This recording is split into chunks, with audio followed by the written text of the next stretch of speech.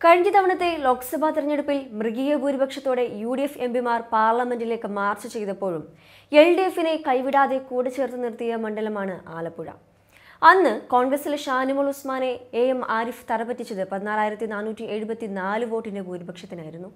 കനൽ ഒരു തരും മതി എന്നായിരുന്നു ആരിഫിന്റെ ജയത്തെക്കുറിച്ച് എൽ ഡി എഫ് അണികളുടെ പ്രതികരണം.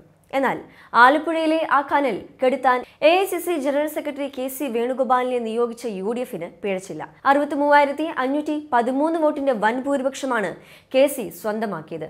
പിന്നാക്ക സമുദായങ്ങളുടെ വോട്ട് നഷ്ടപ്പെട്ടതാണ് കനത്ത പരാജയത്തിന് കാരണമെന്നാണ് പ്രാഥമികമായി വിലയിരുത്തിയത്.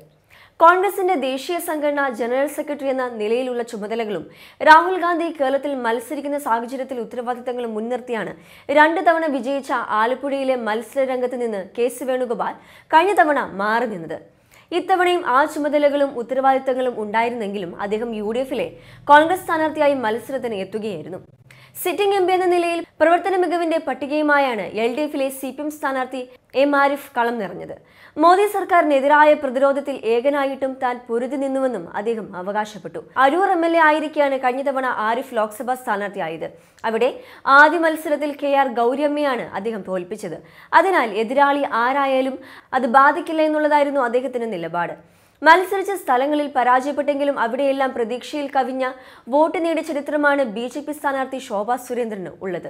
ആ ആത്മവിശ്വാസത്തിലാണ് അവർ മത്സരത്തിന് ഇറങ്ങിയതും.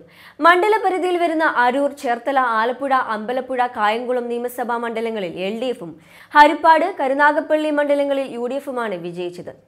ലോക്സഭാ തെരഞ്ഞെടുപ്പ് വോട്ടെണ്ണൽ പുരോഗമിച്ച ആദ്യ മണിക്കൂറുകളിൽ ട്രെൻഡ് അനുസരിച്ച് ആലപ്പുഴ മണ്ഡലത്തിൽ കെ സി വേണുഗോപാൽ തന്നെയായിരുന്നു മുന്നിലുണ്ടായിരുന്നത്. നേരത്തെ ശോഭാ സുരേന്ദ്രൻ മുന്നിലെത്തിയിരുന്നെങ്കിലും അതിനെ മറികടന്നാണ് കെ സി വേണുഗോപാൽ ലീഡ് നേടി വിജയിച്ചു കയറിയത്. ആലപ്പുഴ ജില്ലാ സെക്രട്ടേറിയറ്റിൽ നടന്ന യോഗത്തിൽ സി സംസ്ഥാന നേതൃത്വത്തിനെതിരെ ഇപ്പോൾ രൂക്ഷ വിമർശനങ്ങളാണ് അതേസമയം ഉയർന്നിരിക്കുന്നത്. സ്ഥാനാർത്ഥി നിർണയത്തിൽ പാളിച്ച പറ്റിയെന്നും കെ സി വേണുഗോപാൽ മത്സരിച്ചില്ലായിരുന്നെങ്കിൽ ആലപ്പുഴയിൽ ബി ജെ പി സ്ഥാനാർത്ഥി ശോഭാ സുരേന്ദ്രൻ വിജയിക്കുകയും എ എം ആരിഫ് മൂന്നാം സ്ഥാനത്തേക്ക് പോകുമായിരുന്നുവെന്നും യോഗത്തിൽ വിലയിരുത്തലുണ്ടായി. മാത്രമല്ല കഴിഞ്ഞ ലോക്സഭാ തെരഞ്ഞെടുപ്പിൽ കനലൊരു തെരക്കെടാതെ കെടാതെ പാർട്ടിയെ ആലപ്പുഴയിൽ നിലനിർത്തിയ എ എം ആരിഫല്ല പകരം തോമസ് ഐസക്കിനെ ആലപ്പുഴയിൽ മത്സരിപ്പിക്കണമെന്നായിരുന്നു ജില്ലാ സെക്രട്ടേറിയറ്റിൽ അഭിപ്രായമുയർന്നത് സ്ഥാനാർത്ഥി നിർണയത്തിൽ പാളിച്ച സംഭവിച്ചുവെന്നാണ് വിലയിരുത്തൽ. എ. എം. ആരിഫ് ദുർബല സ്ഥാനാർത്ഥിയായിരുന്നുവെന്നും വിലയിരുത്തലുണ്ടായി. മുൻപ് പരാജയം രുചിക്കാതെ മത്സരിച്ചിടങ്ങളിലെല്ലാം വിജയിച്ചു കയറിയ A. M. Arif K. C. വേണുഗോപാലിന്റെ വ്യക്തിപ്രഭാവത്തിനു മുൻപിൽ പരാജയപ്പെട്ടപ്പോൾ ദുർബല സ്ഥാനാർത്ഥിയായിരുന്നു അദ്ദേഹം എന്ന വിലയിരുത്തലാണ് പാർട്ടിയിലുള്ളത്. ആരിഫിന്റെ സ്ഥാനാർത്ഥിത്വത്തോടെ അവിടെ തോൽവി ഉറപ്പായി. കെ സി വേണുഗോപാൽ മത്സരിച്ചില്ലായിരുന്നെങ്കിൽ ആരിഫ് മൂന്നാം സ്ഥാനത്തേക്ക് തള്ളപ്പെടുകയും ശോഭ സുരേന്ദ്രൻ വിജയിക്കുകയും ചെയ്യുമായിരുന്നുവെന്നാണ് വിലയിരുത്തലുള്ളത്. തോമസ് ഐസക്കിനെ ആലപ്പുഴയിൽ മത്സരിപ്പിക്കണമായിരുന്നുവെന്നും അദ്ദേഹത്തെ പത്തനംതിട്ടയിൽ മത്സരിപ്പിച്ചത് തെറ്റായ തീരുമാനമായിരുന്നുവെന്നും വിലയിരുത്തലുണ്ടായി. പത്തനംതിട്ടയിൽ തോമസ് ഐസക്കിന് തിളങ്ങാൻ ആയില്ല എന്ന് മാത്രമല്ല പല നിയമസഭാ മണ്ഡലങ്ങളിലും വോട്ടിംഗ് ശതമാനത്തിൽ ഏറെ പിന്നിലാവുകയും ചെയ്തിരുന്നു.